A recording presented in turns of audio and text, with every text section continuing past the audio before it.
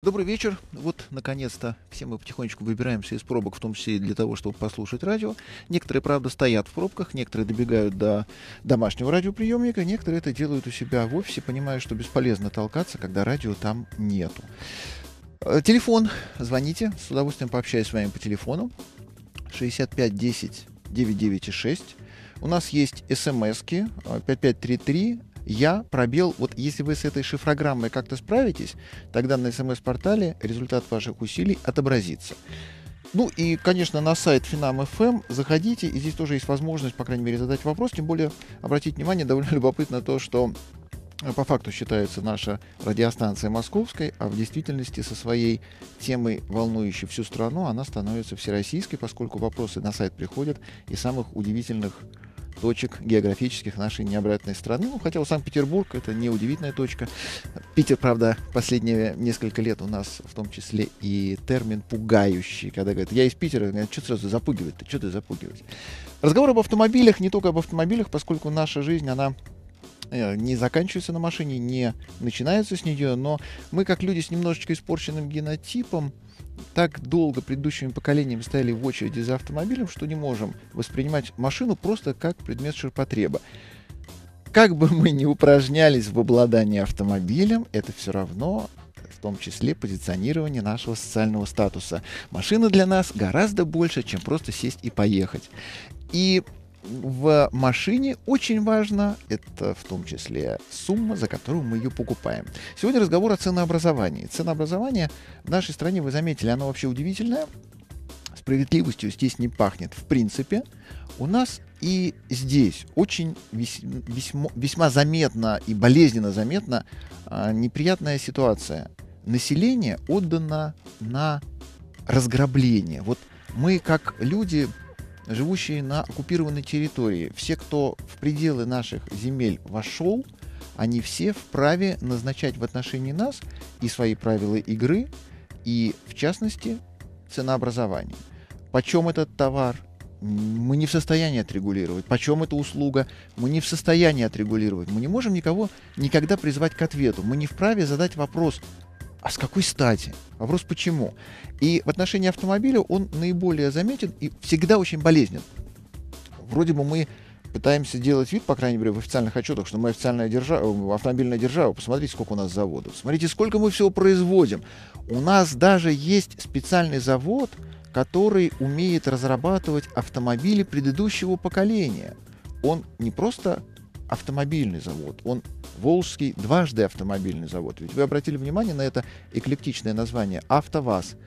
Авто, Волжский автозавод, то есть дважды автомобильный завод.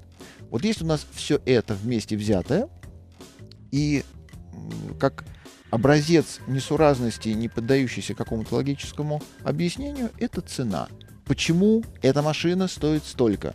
Мы этого не знаем никогда. Ну, мы не знаем никогда со времен советской власти, Почему у нас столько стоит киловатт-час электроэнергии?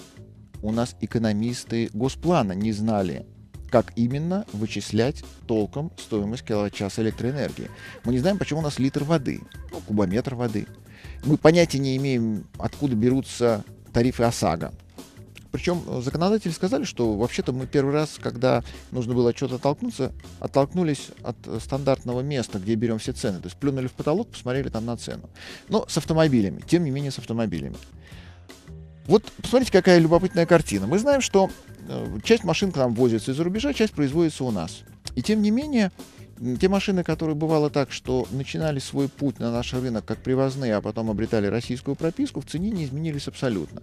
У нас ведь построено довольно много заводов. Мы делаем Opel себе, мы делаем Chevrolet, мы делаем Toyota, Nissan. Сколько стоит машина, произведенная в нашей стране? Она стоит столько же, сколько она стоила до момента пересечения нашей государственной границы. При этом мы знаем, может кто не в курсе, но на самом деле мы знаем об этом, у нас больше половины цены автомобиля, не стоимости, а цены автомобиля, это подати государству. Государство очень любит дорогие автомобили не потому, что они реально столько стоят, а потому что как минимум 50%, на самом деле больше 50%, это уходит сразу в бюджет. В виде разных способов изъема, отъема, то есть поборов у нас много, и вот это все уходит не к нам. Итого, любая машина, цены любой машины, привезенной к нам, мы делим пополам и получаем некое понимание того, почем же она на самом деле обходится.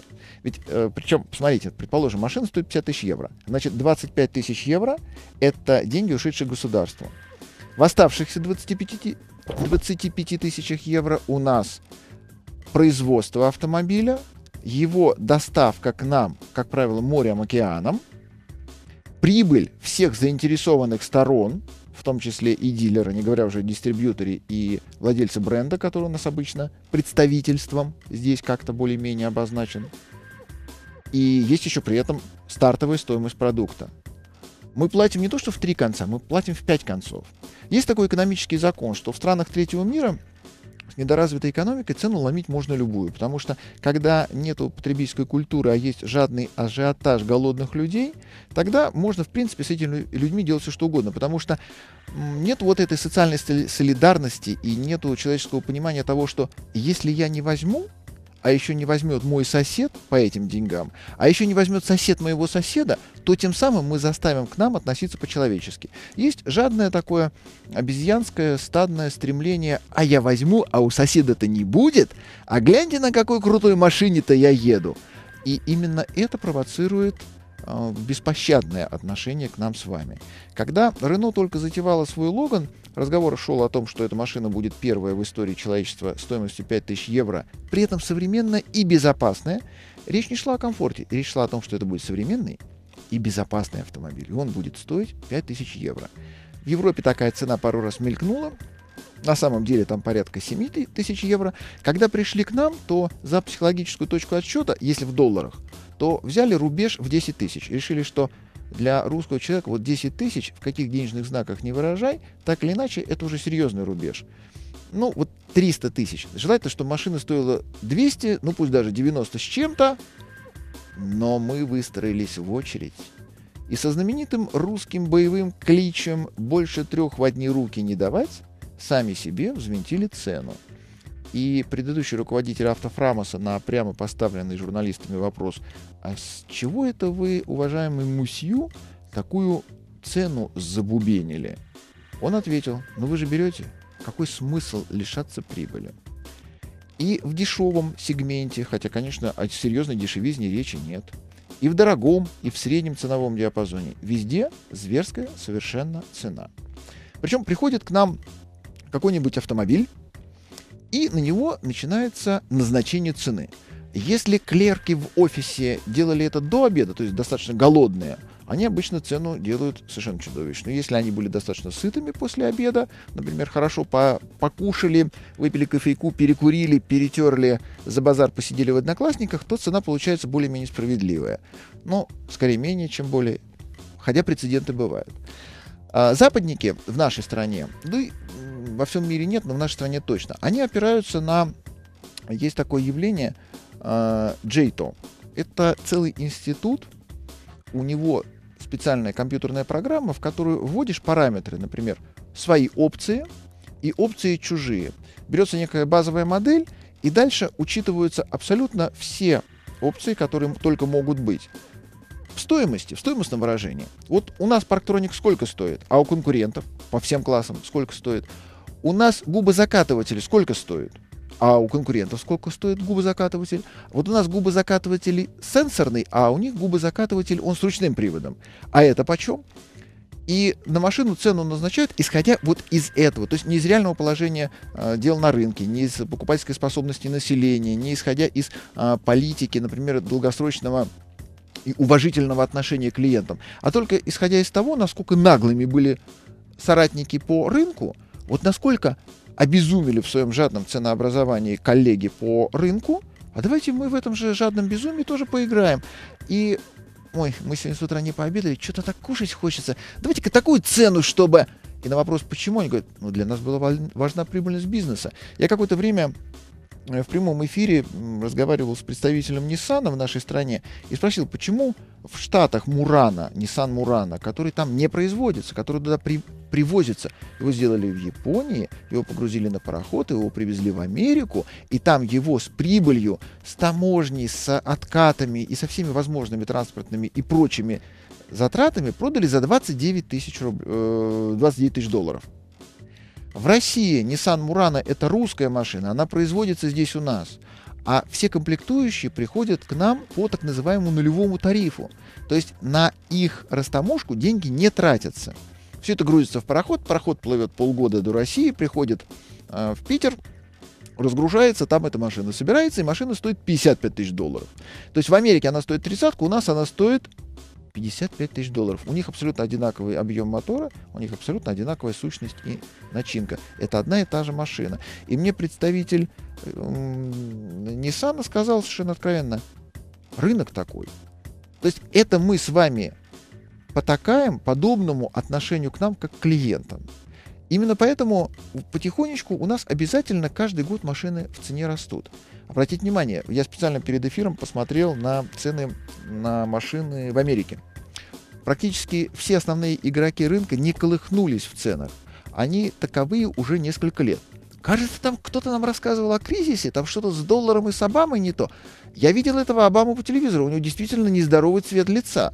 Но во всем остальном в Америке как-то я не заметил, что все сильно плохо. И цена на автомобили тому подтверждение. И Америка это как раз та, машин, э, та страна, где на машины справедливая цена, потому что по несправедливой цене эти люди не будут покупать то, что им впаривают. Мы будем. Америка для нас, конечно, не указ ни в чем, потому что мы не американцы, иначе результаты нашей работы были бы сопоставимы. Сейчас я прервусь, будут э, новости, потом мы вернемся к ценообразованию в нашей стране. Телефон уже разрывается, номер его 6510 996, и тем не менее еще несколько слов о нашем несправедливом ценообразовании. Автомобили очень показательно несправедливы в своей цене. Импортируемые ли привозимые ли в нашу страну, либо произведенные здесь, у них всегда какой-то чудовищно зверский ценник. Даже «Жигули», которые нам постоянно эклектично впаривают и говорят, ну посмотрите, это же самая доступная машина. Ковыряешь ее пальчиком и говоришь, а что же она такая поганая это? А что вы хотели за такие деньги? Вот эти, это не разговор. Я за любые деньги хочу адекватный товар, качество которого не вызывало бы у меня расстройство желудка. При том, что паленую водку я не пью, и это к ней отношения не имеет. Так вот, к разговору об автомобилях. Когда иностранцы у нас назначают цены на свои машины, они в основном исходят из э, вот той самой э, компании Jayto, которая создала специальный компьютерный инструмент, позволяющий людям самостоятельно сравнивать, что у конкурентов, и исходя из этого, то есть исходя из чужой жадности, назначать свою цену. При этом, конечно, люфт по лояльности клиенту есть. Ведь есть одно дело стоимость, по которой продают, а есть себестоимость товара. Вот мы как-то с экономистами считали, машина, которая в нашей стране продается за 50 тысяч евро, это такая достаточно удобная в расчетах условная сумма, она в производстве, в себестоимости обходится сумму, не превышающую 2000 евро. То есть вот когда мы покупаем с вами какой-нибудь там автомобиль, там Volvo, например, говорим, ну, ну, за 50 тысяч евро-то я купил. За 50 тысяч евро я купил машину, которая обошлась в 2000 евро. 48 сверху — это жадность, это шубка секретарша, это инновации, это украли, это не донесли, это логистика, это мы вложились в производство, а также заплатили как минимум половину этой стоимости на въезде в нашу любимую страну. Америка здесь, к сожалению, манящая красная тряпочка, мы на нее смотрим и не можем понять, почему у них цена справедливая, а у нас она всегда несправедливая. Но кроме того, что JTO, вот это компьютерное а, моделирование ценообразования играет серьезную роль, у нас еще очень важным игроком является все тот же пресловутый дважды автомобильный Волжский завод они назначают нижнюю цену в нашей стране, потому что дешевле, я о китайцах не говорю, китайцы все-таки это не совсем автомобили, это макеты в натуральную величину, очень похожие на настоящие. Не советую всерьез относиться пока к китайским автомобилям, рано еще, не доросли ребята. Так вот, у нас получается, что по факту самые дешевые машины в стране — это «Жигули». «Жигули» регулярно дорожают. В этом году нам Комаров, президент, обещал, что Жигули подорожают только в соотношении с инфляцией на чуть-чуть. То есть вот инфляция у нас, мы не знаем, как она с инфляцией. В прошлом году, когда было заявлено независимыми экспертами, что инфляция в нашей стране превышает 40%. В ответ на это мы получили немножко другую официальную цифру. Там у нас получилось, я насколько помню, 6%. Э, ха-ха три раза. Так вот, АвтоВАЗ будет дорожать в соответствии с инфляцией. То есть просто для того, чтобы эту инфляцию, какую хочется узнать, видимо, официальную, э, как-то более-менее предвосхитить. И как только «Жигули» дорожают, сразу с оглядкой на них дорожают все, при том, что прямых конкурентов у них нет, потому что ближайший серьезный соперник — это Renault Logan, он стоит 345 э, тысяч уже. Раньше стоил 335, в этот раз он подорожал, без относительно АвтоВАЗа. То есть разрыв довольно большой ценовой. И тем не менее все смотрят, ну, ребят, Жигули подорожали. Ну, значит, и нам не грех чуть-чуть приподняться. Получается, что регуляторов у нас несколько. АвтоВАЗ определяет нижний предел. В основном в, в массе своей э, компьютерная программа JTO застит разум и определяет нам большинство параметров ценообразования остальных автомобилей, ну, плюс наше государство, которое пытается урвать кусок просто потому, что оно к этому допущено. Вот если бы мы хотели, чтобы к нам относились с уважением, если бы мы хотели, чтобы с нами играли всерьез, как это происходит в Америке, как это происходит в Европе, отзывные компании, уважительное отношение к клиенту, а, сервисные преференции и вообще заинтересованность в нас не как в овце, которую нужно обстричь, а как в клиенте, которого желательно привлечь тем, чтобы он испытал чувство лояльности к бренду и пришел еще разочек. Что мы для этого можем сделать? Мы для этого не можем сделать ничего, потому что, в принципе, мы никогда ни в чем, даже в своих кровных интересах не в состоянии солидаризироваться. Но если предположить, что мы бы могли себе такое позволить, тогда было бы правильнее всего перестать покупать автомобили вообще. Ну, в течение, наверное, где-нибудь двух лет. Вот у кого что есть, да, может быть плохонькое, да, нуждающееся в ремонте. И тем не менее, потратимся на запчасти, не будем покупать новые машины. И рынок автомобильный умирает. Умирает АвтоВАЗ, умирает сборка, умирает импорт. Ну не покупаем мы машины. Ну не покупаем. За исключением BMW, на которых ездят всякие там патриархи, министры и прочие очень полезные для хозяйства люди. Ну эти, да, понятно, они не могут быть солидарны с нами, у них другие проблемы. А вот мы не покупаем машины. Тогда происходит что? Цепная реакция. Сначала разоряются дилеры, потом закрываются московские представительства. В государстве начинается легкая паника, потому что это миллиарды, даже так, это десятки миллиардов долларов нашей экономики. Мы по итогам 2012 года, они еще не подведены, но где-то, наверное, ос освоили своими покупками порядка 70 миллиардов долларов автомобилей. То есть наш вот этот сектор приобретения новых машин это 70 миллиардов. Из этих 70 миллиардов половина чистая прибыль государства. Это то, что они с нас состригли за наше желание ездить на приличной технике. Вот столько они недополучают, то есть половинку от этих 70 миллиардов. И тогда к нам начинают уже дышать трепетно, смотреть на нас внимательно, относиться к нам серьезно. И тогда уже не, не, не происходит это нашей стандартной извечной беды, когда человек купил машину, и он думал, что раз это не «Жигули», то жизнь его наладилась. И он приедет к дилеру, и дилер его примет как родного. А потом он звонит нам в программу и говорит, слушайте, я приехал, а я, мне почему-то дали почувствовать, что я владелец «Жигулей». Это происходит в силу нашего с вами поведения. Мы не в состоянии повлиять на свое государство в открытую, мы можем сделать только косвенно. Но ведь согласитесь, предположим, что никто не считает нужным кивнуть головой по поводу сказанного мною, но так или иначе, ведь мы с вами отдаем отчет перед самими собой о том, что цена задрана очень сильно. Вы помните те времена, когда машина стоила 15 а, тысяч долларов. Посчитайте, сколько в рублях. Сейчас машина нормальная начинается от миллиона рублей, то есть от тридцатки. Она в два раза подорожала. Что всерьез изменилось за это время? Мы стали лучше жить, мы стали богаче, у нас э, что-то произошло в экономике, изменился курс доллара? Ничего подобного. Посмотрите на кривую курса доллара. Обратите внимание, как не сильно она меняется. Да, в 2008 году курс доллара был заметно ниже, а в как каких деньгах у нас импортеры ввозили машины и заявляли инвойс, уж не в рублях ли?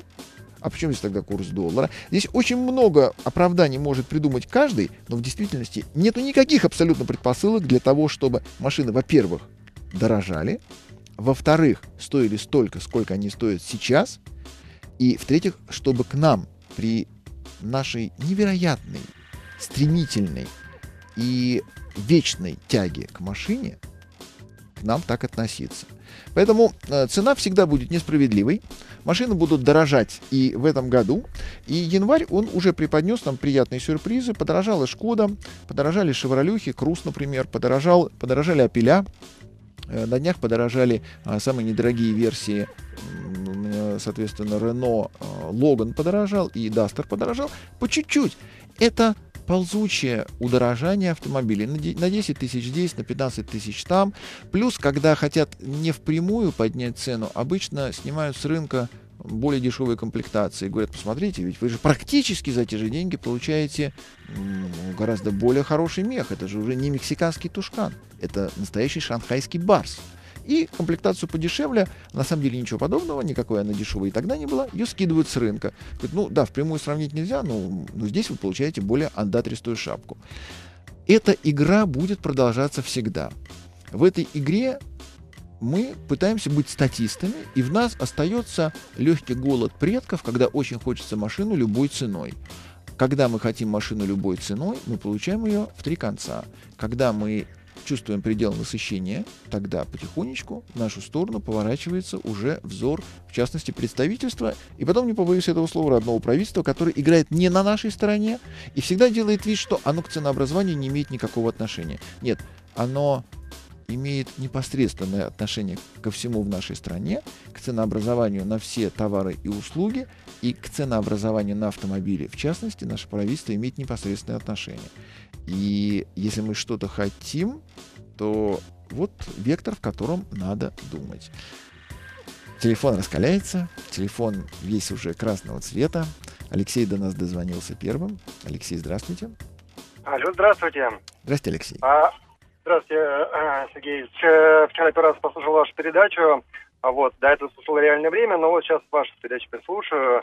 По поводу вашей темы я хотел сказать вот э, какую вещь, что просто у нас рынок еще не перенасыщен автомобилями, как в США, поэтому и цена такая высокая. Вот. Когда это произойдет, как, например, с э, как с техникой. Э, вот, кстати, Алексей, да. простите, перебью. Как с техникой? У нас по сколько мобильных телефонов на каждого человека? У нас по статистике в среднем на все население, включая младенцев, инвалидов, умалишенных и пенсионеров, по э, две с половиной сим-карты. У нас у каждого в кармане по одному, по двум мобильным телефонам. А сколько в Европе стоят мобильные телефоны? А почему они стоят в три раза дешевле, чем у нас? У нас перенасыщение рынка. У нас мобильными телефонами дети в детском саду. У нас после этого что произошло? Справедливая цена? Ну, Ничего ну, подобного. Телефон это да, да, телефон это да. Ну а вот э, что касается, скажем, бытовой техники, это тех же телевизоров или там видеомагнитофонов, когда-то в свое время а, мой дядя купил а, за видеомагнитофон, там а, гараж огромный, вот, и а, сейчас что, что, что стоит этот, этот э, скажем, видеомагнитофон? А сейчас, да? так, минуточку, Алексей, а, а что сейчас стоит народный гараж за 300 тысяч? Ну, да. То есть э, у нас, э, если у нас не произошло Э, после того, как мы все купили себе по мобильному телефону, никакого намека на изменение ценовой политики в отношении мобильников, то почему вы считаете, что что-то подобное произойдет у нас с автомобилями, как в Америке? Причем, обратите внимание, Америка по-прежнему остается крупнейшим рынком мира и спорит за пальму первенства с Китаем, покупая в год 9-10 э, миллионов новых автомобилей. Это не говорит о насыщении рынка, когда на этом рынке людям хочется 10 миллионов новых автомобилей в год это не говорит о насыщении, это говорит в том числе, конечно, о умении и желании покупать и обновлять свой парк, но о насыщении нет. Насыщение приводит к стагнации. Здесь до, до стагнации далеко, потому что наш рынок это 2,5-3 миллиона в год, американский 9-10, китайский, ну, китайцы, правда, в свою статистику включают все, что на колесах, то есть и э, скейтборды, и сеялки, веялки, и бетономешалки. Поэтому у них получается всегда на две машины больше, чем у американцев, просто в силу нелюбви. Хотя по ну, факту помню, ничего подобного нет. Ну, я помню, что в кризис они продавали две машины за одну. вот, Знаете, в, э, в кризис у них была программа а, государственной поддержки продаж холодильников крестьянскому населению. А крестьяне сказали, а зачем, если последние пять тысяч лет мы держим в колодце то немногое, что у нас может испортиться. А, Китай это очень своеобразная страна. Еще у меня вопрос да. один по поводу моего автомобиля. Мы купили Toyota Versa, и, может быть, у вас был опыт общения вот именно с этой машиной Toyota Versa, вот новая, а, которая типа на базе Аменсиса. Вот, она с механикой у меня, и э, трансмиссионный шум очень высокий, и говорят, что это трансмиссионный шум, он э, от некачественной коробки изначально. То есть все это коробки такие вот такая некачественные, я читал об этом в блоге, что она, в принципе, чуть ли не как у Логана, то есть коробка из-за удешевления там. И когда я начинаю трогаться, у нее происходит небольшой стучок, как будто бы у первой вот и э, второй там... Э, а брак, вот пары, они да? не признают брак, но, кстати, Алексей, обратите внимание, вы купили эту машину, потому что это настоящее японское качество. Вот это, к сожалению, серьезная ошибка. Через несколько минут я вернусь к вам после рекламы и новостей. Uh, у нас Алексей только что спрашивал по поводу потрясающего автомобиля Toyota Versa с неизгладимым совершенно японским качеством. Это вот тот самый случай, когда банальную одноразовую японскую дешевку мы покупаем с вами под видом шикарного автомобиля бледнолицей сборки под названием Toyota. И причем предстоит очень серьезная, суровая баталия Алексею с представительством, потому что признать данное, данную неприятность, как трансмиссионные шумы, в частности, дефектом, всерьез не получится. То есть нужно будет обращаться к независимой экспертизе, очень долго терпеть, потом ждать, когда вылезет этот шум в виде неприятного стука или поломки, что происходит далеко не всегда. И в итоге вот весь гарантийный период ждать, сломается и не сломается, а она сломается ровно после окончания гарантийного периода. Я всех нас могу поздравить с тем, что у нас замечательные совершенно, вот они, японского качества автомобили. Сергей на связи. Добрый вечер. Здрасте, Сергей. А, вы знаете, меня очень сильно удивило и посмешили ваши некоторые слова, сказанные в начале по поводу там отчетности предприятий э, за свое ценообразование. Ну, по-моему, довольно странно, так сказать, в рыночных условиях требовать от кого-то отчета по поводу цены. Это вот что, что касается ценообразования дилеров там или э, предприятий. А, знаете как, отчета, Сергей, мы не будем ни с кого требовать, но уважение к себе, в том числе в назначении цены, очень хотелось бы, если не дождаться, то как-то, может быть, даже приблизить. Поскольку я, например, не согласен. Вот э, Алексей, предыдущий позвонивший, он купил автомобиль настоящего японского качества. Да черта с два. Не японского и не качества. А купил он ее, исходя... Ценник-то был какой? Ценник-то был за миллион, а миллион-то это не стоит, и попробовал бы кто-нибудь Алексею в Америке впарить подобную дешевку под, за такие деньги. И вот, вот эта несправедливая ситуация, она должна кем-то регулироваться. Регулятором всегда выступает государство. В данном случае государство играет на чьей стороне? Государство играет не на нашей с вами стороне. Вас это устраивает? Смотрите, я э, на, на собственном опыте, я вот полгода назад купил новую Шкоду Ети. Так. Э, которая, цена, на которую, в, ну, цена, которую я заплатил, была ровно на 120 тысяч рублей дороже, чем она э, аналогичная комплектация. Вот я смотрел на сайте Шкоды Чехии, вот, то есть примерно примерно 10-12% цены это было. При том, что сборка, сборка-то наша с вами отечественная. Нет, нет, это была чешская сборка. А когда вы ее купили? И я э, заказывал я в, в прошлом апреле. Приехала mm-hmm. она приехала она Понятно. в июне. Понятно. Так. Вот, поэтому вы совершенно правильно при этом отметили, что если машина является не, не утилитарной вещью, как это происходит в США, а если люди готовы переплачивать в два-три раза за статус, но производители найдут способы, как эти деньги содрать. Конечно, конечно. Равно, равно как и упоминавшиеся, упоминавшиеся, скажем, э, там некоторые назад телефоны ну, скажем, сравнивать с европейскими ценами, это довольно странно, потому что в Европе там совершенно другие цены на э, мобильную связь выше, чем у нас. Поэтому а почему э, странно? Телефоны, почему сам... телефоны датируются зачастую. Но вот тут, вот смотрите, тут совершенно очень четко выделялась, выделялась продукция фирмы Apple, которая на фоне других производителей у нас продавалась на оценкой совершенно немыслимой. То есть если на какие-нибудь там Samsung разница по сравнению с европейскими или там американскими ценами процентов, ну, самом там худшем ну, меньше, да, менее 10, да. то Apple продавался в три раза дороже. И не только Это продавался, вот, Сереж, не только продавался, но и покупался, потому что как, и же, как да, же девочке да. пойти в Макдональдс без приличного айфончика? Ну, ей же просто Биг Мак в рот не влезет. И поэтому совершенно правильно поставили вопрос, что это вопрос в том числе самим, к самим себе. Если вы готовы да. заплатить что рынок устанавливает цену ровно такого уровня, который вы готовы заплатить. Понимаете, ну вот на самом деле не рынок устанавливает цены. И вот э, человеку, конечно, с одной стороны, никто не запрещает быть идиотом, а с другой стороны, есть регулятор в виде государства, который определяет пределы этого идиотизма. Говорит, слушайте, ну вот не надо, например, пить только паленую водку. Вот не надо бросаться головой со скалы. Если вы любите бросаться головой со скалы, то мы там поставим полицейского, который вам это не даст. Не потому что нам не нравятся ваши разбрызганные мозги, а потому что мы считаем, что гораздо лучше будет, если вы пойдете на работу или вернетесь домой к своим детям. То есть, с одной стороны, у человека право выбора. А я хочу башкой со скалы. А государство ну, говорит, слушай, не надо.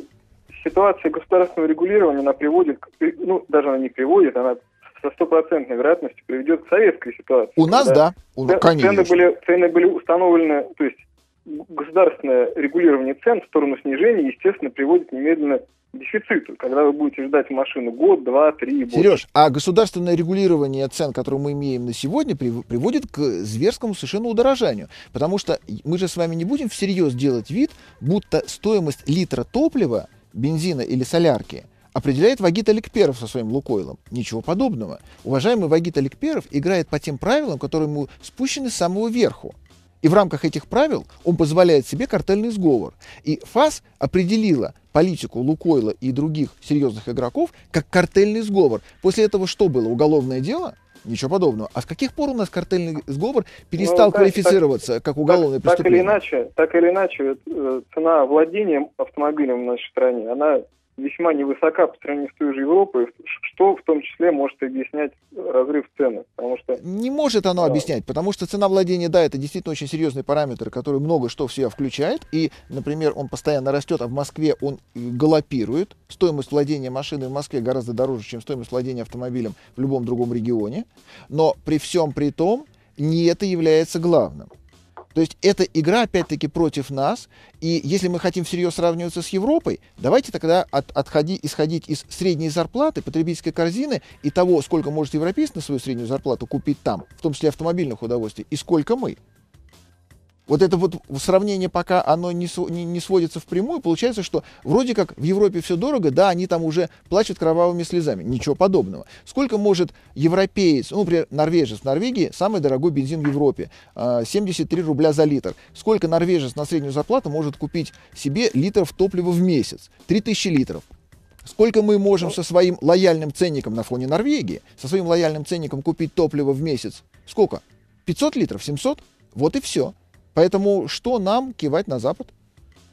Ну, с московской средней зарплаты можно как раз примерно ту же там, тысячу литров купить. Знаете, в Москве тоже довольно много голодных людей, которые на ночь ложатся, мягко говоря, не сытыми. Далеко не все в ну, Москве ну, очень хорошо обеспеченные владельцы Швеции, Да, в Швеции, да, в Швеции при этом вполне, так сказать, на государственном уровне объявлен социализм. Поэтому ну, я думаю, что вот такой плач Ярославны, он его он не найдет понимания в представительстве BMW или там Porsche в России, которые прекрасно продают за эти бешеные свои машины и при этом в представительстве думаю, что... BMW инициировали несколько судебных исков против абсолютно всех тех, кто пытается ввести на территорию Российской Федерации хоть одну запчасть BMW. Они хотели полностью монополизировать весь вторичный рынок и все сервисное обслуживание с тем, чтобы ни один владелец любого даже поддержанного BMW не смел пройти мимо официальной поставки запчастей, которые продаются в три дорога. Но эту атаку, к счастью, ФАС отбил, ну и не только ФАС. То есть к разговору о том, ну, насколько BMW лоялен к да, нам, и да, мы лояльны к нему. Прек...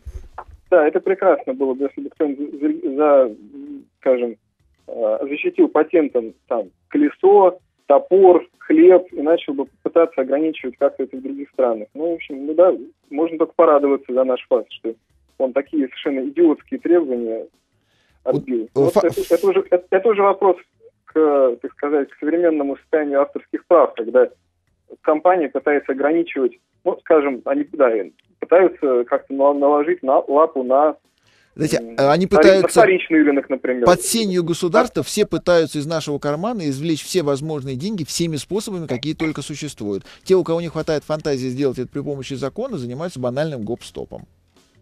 Это да, это да. Спасибо вам, Сергей. У нас на связи Алексей. Алексей. Здравствуйте. Здрасте. Э, Алексей из Москвы. Э, вы человек знаний энциклопедических практически. Я встал по стойке смирно только что. Ну, нет, ну, ну хорошо, вольно. Спасибо. А, значит, э, у меня, собственно, даже э, вопрос. Э, мне интересно ваше мнение, чтобы мне, э, на чем бы мне ездить в качестве внедорожника, ну, именно э, в том э, понятии внедорожника. Так. А, то есть автомобиль для путешествий. Причем путешествий э, не по цивильным местам, а как раз-таки наоборот. А, ну, там, типа, я не знаю, Байкал, Монголия, Урал, Кольский, Карелия, там и Ну. прочее. Что бы вы э, посоветовали? Ну, УАЗик ни в коем случае, никогда, никакой. А, Если хватает денег, то можно в том числе и новый Land Cruiser 200, если не хватает сотку, либо 105-ю. Ну, 105-я на ручке с резиновым салоном на серьезных мостах. У него уже спереди тоже такая штука, чтобы пни рубить. Да. Да. И вот эти два автомобиля, при всем при том, что они не являются эталоном надежности, и законы физики на них распространяются точно так же, как на все остальные автомобили, по факту они все-таки попрочнее, поразумнее и пологичнее вот в этой э, сфере применения. И сколько раз вот приходилось э, либо ехать самому, либо э, принимать участие, там, неважно в какой уже роли в подобных мероприятиях, крузаки выживают. Вот все остальное компромиссно. Очень неплохой автомобиль с ценником пониже это Mitsubishi Pajero Sport, тоже очень грамотно затеянный, причем его даже ну, вообще, конечно, желательно лифтануть и защитить, но если неохота и нужно оставить машину способной для таких серьезных прострелов по асфальту или по направлению, то на Pajero Sport тоже уже можно куда-то соваться. Хотя, конечно, вся подготовка, шноркель, защита, лифт, две лебедки, передняя и задняя, ну, вы прекрасно понимаете, что рано или поздно это, к сожалению, пригодится. Вот эти японцы, они молодцы. Все остальные машины для путешествий, ну, вот тут уже начинаются компромиссы, э, но бывали, конечно, у нас неприятности, когда и крузаки дохли, и бывали у нас э, великолепные совершенно моменты, когда светилась широко и лучезарно звезда Мерседеса Гелендвагена в самых невероятных совершенно ситуациях. И практически всегда в полные дрова разваливался любой Defender. Вот это катастрофа Ну, абсолютная. Ну да, это, э, в общем, да, достаточно известный факт. К сожалению, Да. э, приношу извинения владельцам дефендеров. Э, про лифт понятно, шноркель очевидно. э, и э, небольшой лифт ни разу не повредит прострелить по дорогам. Это я уже в курсе. А что по моторам и по топливу? Вот как ваше мнение? Ну, вообще дизель, по крайней мере, вас не так разорит. И, в общем-то, сколько вот крузаки мы мытарили по русской действительности, они оказывались достаточно всеядными. Но мы с собой всегда и антигели возили, и массу присадок для дизелей, потому что никогда не знаешь, на что нарвешься. Rано или поздно нарвешься на то, что двигатель прикончит. Вот это железно. Но то же самое с бензином. Просто э, крузак на бензиновом моторе, но я даже не представляю себе, в путешествие выливается уже в такой экстрим. Причем вы углубились в тайгу, на дизеле есть шанс, что на одном баке или там с парой э, канистр вы куда-то более-менее припыхтите, а с бензинкой нет. Причем а, вот по Карелии, когда я сейчас вот весной ездил, там очень часто сталкивался с ситуацией, когда до ближайшей бензиновой заправки, ну, километров, наверное, 100-150, а солярку можно было попросить слить с какого-нибудь ближайшего КАМАЗа, и народ охотно на это шел. То есть вот дизель Понятно. здесь все-таки он э, имеет не- некую, не- некую перспективу, в отличие от бензинки. Понятно. Ну, жалко, что не встретились весной в Карелии. Э, ну, спасибо за исчерпывающий ответ. Э, спасибо. До свидания. Алексей, спасибо вам. Э, Приятно с человеком, у которого душа рвется на простор, пообщаться, пусть даже и по радио. На самом деле, когда люди отправляются в серьезные путешествия, вот подобные, я им очень по-хорошему завидую. Но про себя, знаете, как из собственного опыта, я ехал в свое время по дороге, которую товарищ Путин открывал, перерезал ленточку, а дороги не существовало. Это трасса Амур, и я по ней от Улан-Удэ до Владивостока проехал на Шкоде Octavia Scout к о том, что иногда не обязательно иметь очень серьезный внедорожник для того, чтобы удовлетворить свою тягу к путешествиям. Э, То есть можно проехать куда угодно, на чем угодно. А по Карелии, по зимнику, там, где дороги нет, по следу какого-то трейлера, я проехал на Дастере, на обычной летней резине. Сейчас мы прервемся еще раз на новости, потом я вернусь к вам. Я с вами полностью согласен. Действительно, понять, как именно на смс-портал какое-то сообщение отправить, это тяжело. У меня, например, ни разу не получалось пробиться сквозь вот эти вот кодировки 5533, потом буква Я, потом пробел, и после этого еще что-то писать. серьезная логическая задача. Я с ней справляюсь крайне редко. Телефон в этом отношении более надежный спутник связи. 6510 99,6. Телефон, да, телефон разрывается. На связи у нас Борис. Алло, Борис. А, да, добрый вечер, Сергей. Здравствуйте. А, спасибо громадное за исчерпывающую информацию по любому виду машинам. Очень интересно вам послушать. Спасибо и вам. Вообще, а, для, себя, для себя вообще сделать некоторые выводы по разным брендам. У меня вопрос следующего характера. А, было очень приятно услышать про Mitsubishi Pajero Sport, потому что это первая машина такая вот реально, мне кажется, как мне казалось, внедорожник. Э, сразу очень понравилось а, в новом кузове. Скажите, пожалуйста, все-таки а, какие могут быть их болезни и а, что нужно добавить в эту машину, в принципе? Хотя я пользуюсь ей в ближайшем Подмосковье, в Москве, на дальние расстояния пока не рискую ездить. В большей степени из-за дизеля. Нет, Борис, на самом деле вот та машина, которая у вас, у вас мотор ведь не 3.2, а скорее всего 2.5, да? 3.2, 3.2. А, то есть вы, вы купили еще ту совершенно с гениальным мотором 3.2. 3.2, Pajero 4, да-да-да-да. да. Э, Pajero 4 или Pajero Sport? Нет, нет, вот мне сказали, что это двигатель, он стоял раньше, на, его ставили да. на Pajero 4 3.2, поэтому... Нет, его ставят туда до сих пор, Просто когда Pajero Sport пришел на наш рынок, у него был дизель 3.2, сейчас его уже нет, и, соответственно, да. у вас осталась уникальная машина, которую, Борис, не продавайте, вот просто даже не будут хочу. умолять, не продавайте, потому что двигатель потрясающий.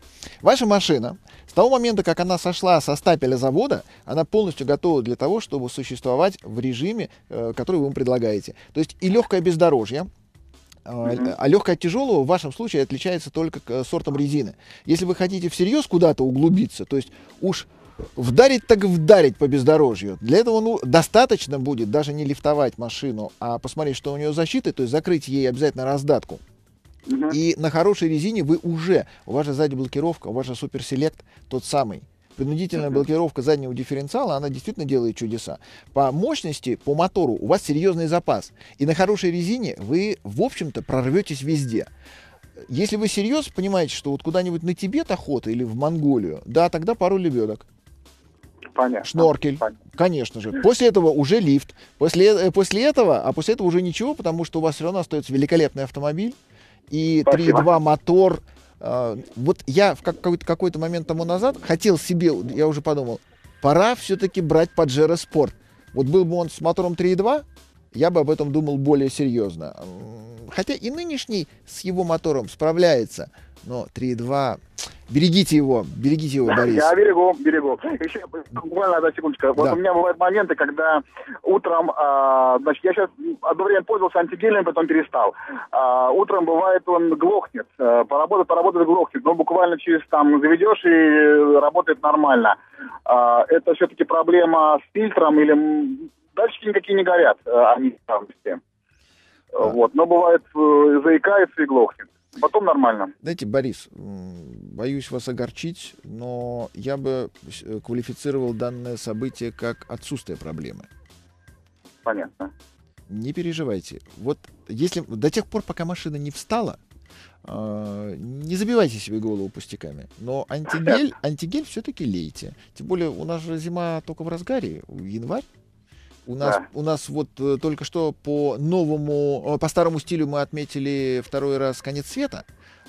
Так. Так что у нас с вами много неприятностей впереди. Антигель лейте. То есть иногда, иногда придется заливать все-таки антигель. Там вот, там 50 литров на бак, по-моему, заливается. Там. А в зависимости от того, какой. Если вы хайгировский пользуете, то... Хайгировский, да. Да, ну, с другой стороны, в принципе, все хайгиром пользуются, это абсолютно логично. А, да, но там, опять-таки, по, по морозу, вы погоду, по, прогноз погоды посмотрели, ужаснулись и долили чуть больше. Хотя я всем всегда советую Вибасту. Вибаста — это хорошая штука, она помогает. Борис, Борис, очень рад за вас. Замечательная совершенно машина. Великолепно совершенно. Алексей у нас на связи. Алексей. Добрый день. Здрасте. Здравствуйте.